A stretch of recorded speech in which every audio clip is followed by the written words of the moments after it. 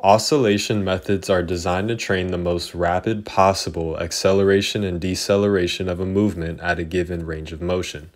The movement will look like a rapid push pull. Advanced athletes will be able to complete this high intensity movement in a range of 3 to 4 inches, whereas a less advanced athlete may require a range of 5 to 7 inches because they're unable to reverse the muscle action phase.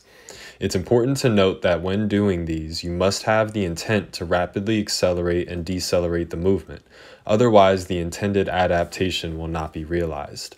You can do this at one joint angle or multiple joint angles as shown.